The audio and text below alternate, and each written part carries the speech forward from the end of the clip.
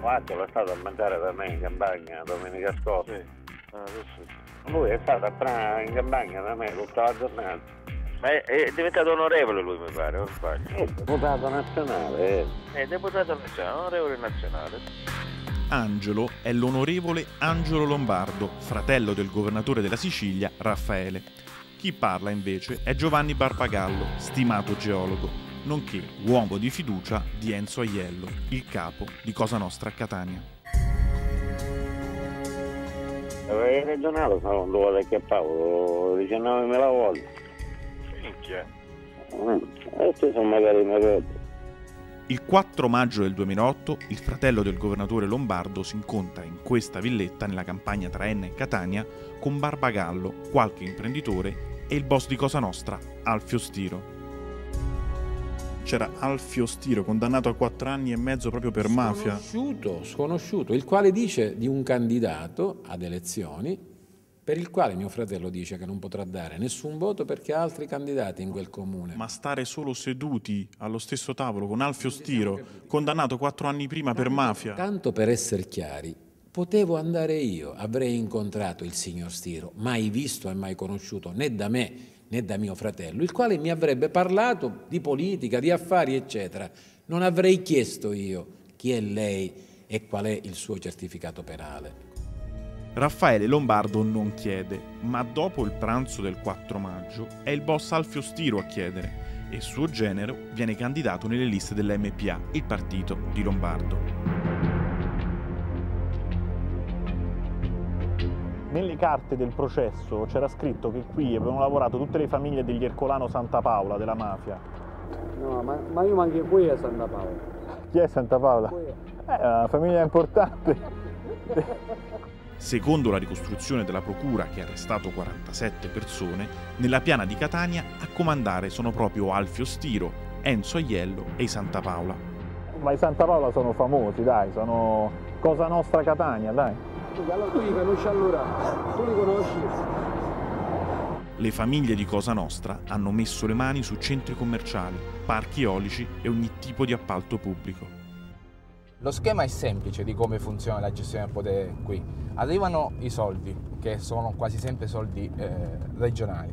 Questi soldi vanno in appalti. Gli appalti li prendono sempre la stessa gente e questo viene deciso dalle cosche, e in questo caso per Palagonia Rosario, Rosario di Dio, lavorano, aprono i cantieri, prendono gente a lavorare e automaticamente diventano ricattabili, si trasformano in voti e, e cresce il consenso, il consenso elettorale.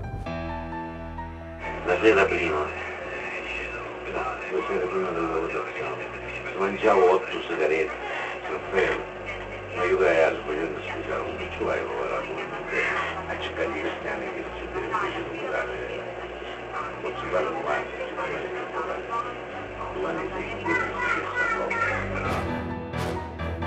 A parlare nel suo distributore Agip di Palagonia è Rosario di Dio, boss dei Santa Paola, condannato per mafia nel 2001.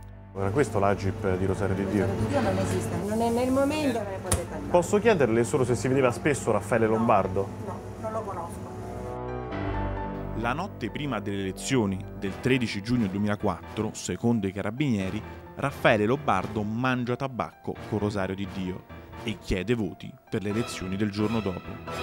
Ma lei quando incontra Rosario di Dio già lo sa che è un mafioso? Allora, La sentenza è del 2001. in un distributore di benzina dove alla cassa e al banco stanno persone varie. Quella volta ci sarà stato il Signor di Dio. Che lei conosceva e sapeva essere un mafioso, perché ci ha parlato? Il Signor di Dio, ancora, insista quanto vuole. Se lei circola liberamente, può anche essere un evaso, ma io sicuramente non ho il dovere di saperlo.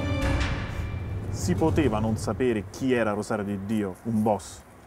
Io penso che per un amministratore, per un personaggio che vuole avere un ruolo pubblico, non poteva non sapere, perché un personaggio, soprattutto chi raccoglie migliaia e migliaia di consensi, non può non sapere chi sono i personaggi che comandano eh, nei comuni contigui, attigui al suo.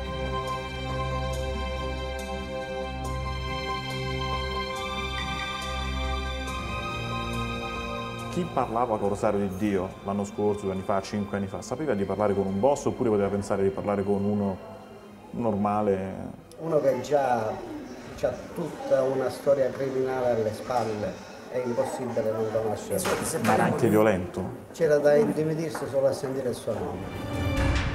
Chi comanda non- in paesi come questi non, eh, non ha bisogno di parlare, lo si sa, basta vederlo, dice quello, come diceva Unari, quello comanda.